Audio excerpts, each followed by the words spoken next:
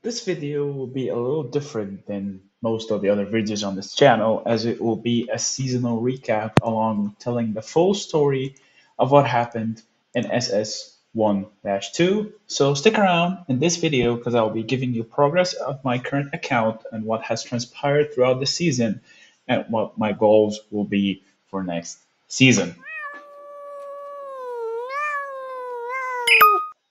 What's up guys, Meower here back with a brand new video.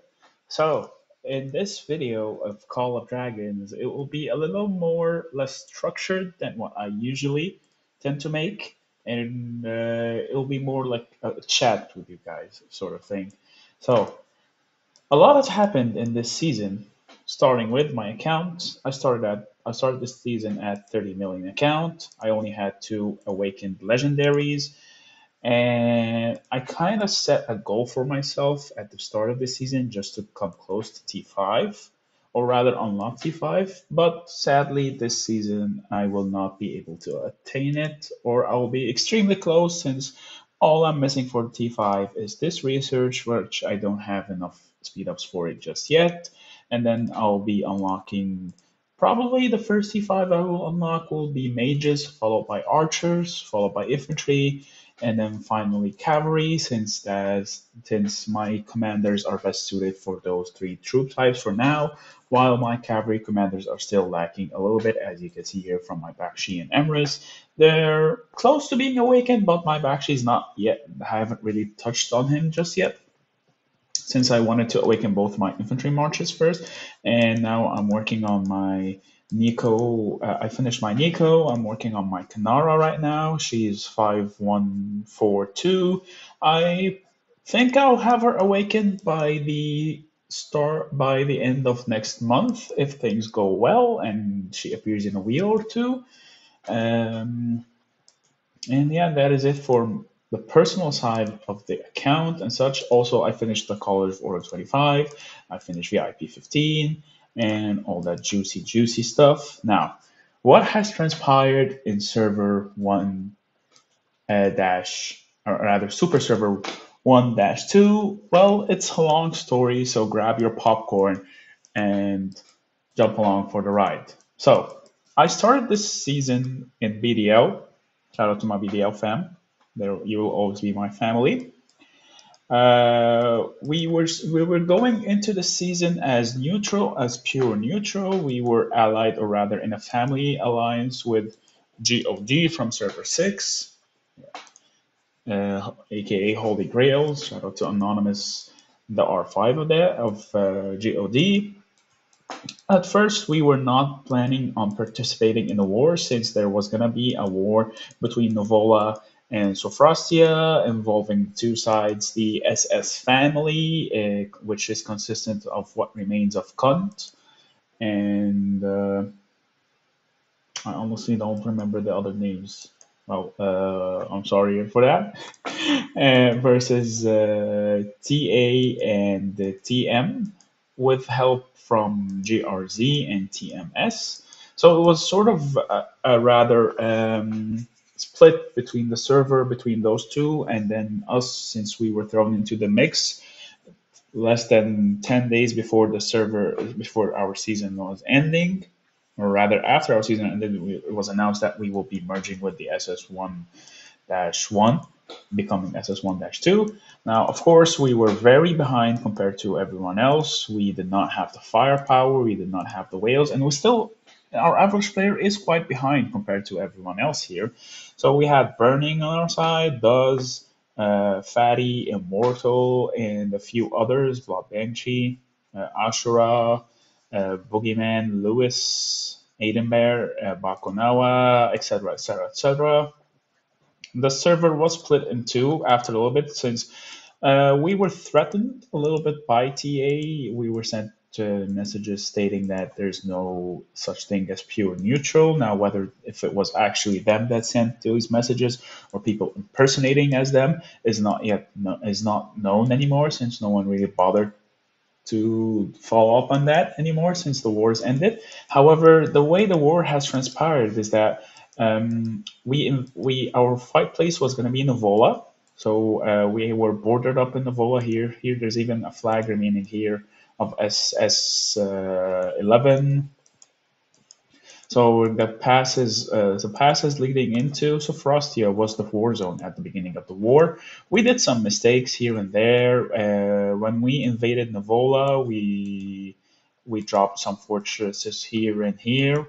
We went all the way and then uh, bunkered up at the war, at the pass, becoming a pass war. Of course, we were not as experienced as the SS and TA slash TM groups, so they had more knowledge of us of what good what better garrison combinations were there and what better rally combinations were there. So that was a major disadvantage for us. But by the time we figured out the current meta and how they were doing what they were doing, it was a little bit too late.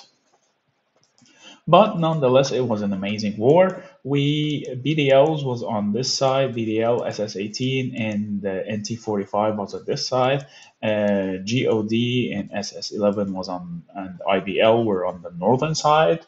It was a 3v1 at a pass and a 3v1 at a pass. However, our whales were not as uh, account progressed as the enemy whales. That's why we sort of could not uh, hold or rather make a push. It was a stalemate for a few days. Then we made a mistake of pushing, um, or rather, uh, we made a mistake of not sustaining our push correctly as we should have pushed correctly. And then we lost the pass. We got a little demotivated. We got pushed back on Vola bit by bit.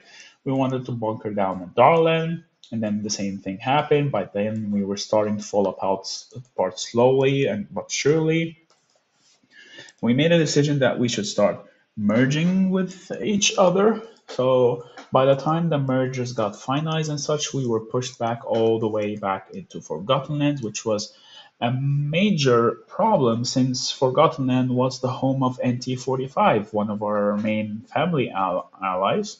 And of course, a lot of players started to quit, stop, some started to jump ship, and uh, it was just overall um, a big fiesta uh, sort of thing. So we bunkered down as the season progressed and passes two were starting to open. We sort of had had to make a decision to just drop Forgotten Lands and uh, start protecting Zoland and Burning Lands as these two were our home regions. We made a consolidation with the SS group and uh, and the GOD, and we placed all the active fighters into two main alliances, BDL and GOD. And then we had a humongous war in Agaru when uh, between the passes here. We were winning the war in a flat 1v1 if it was just BDL versus TA or uh, TM versus uh, GOD slash uh, IDL. But of course, oh, eventually we got overwhelmed from the northern side when TMS decided to invade Zoland from the north.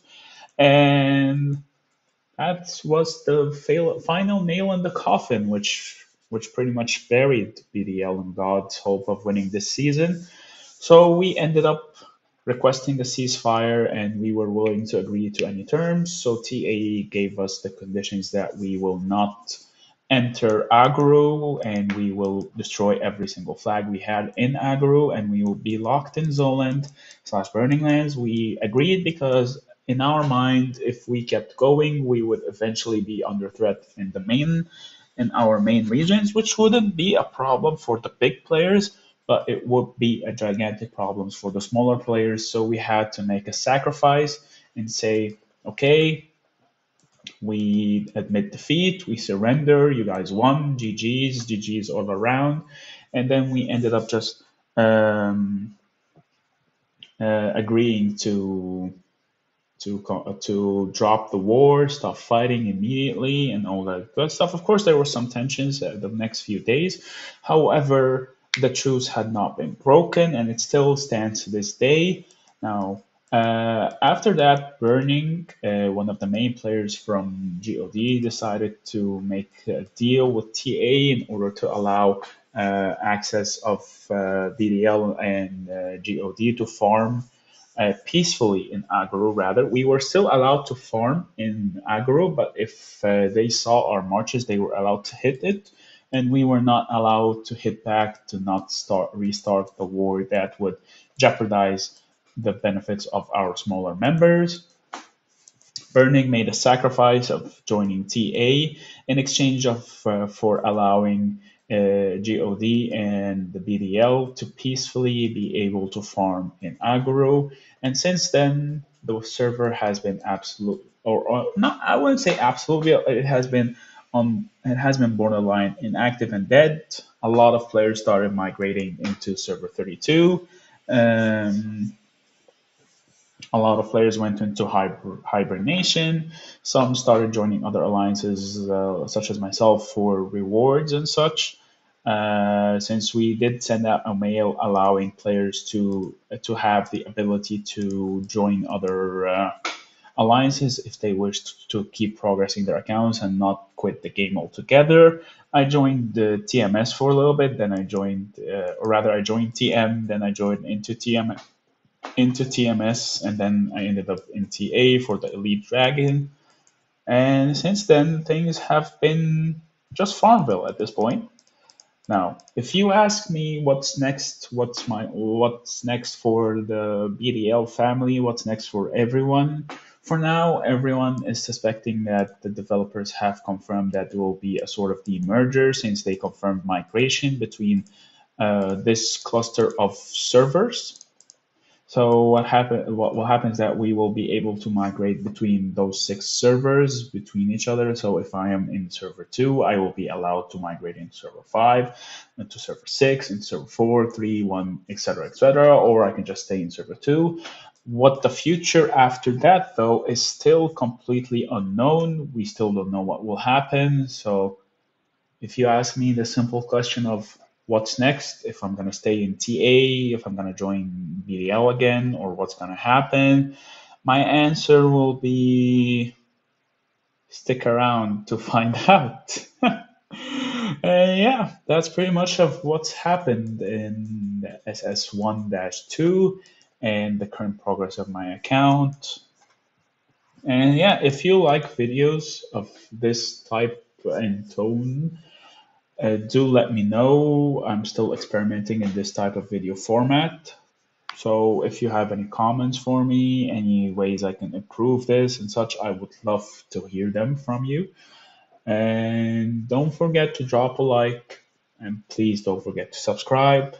And I will see you in the next video. Meow meow.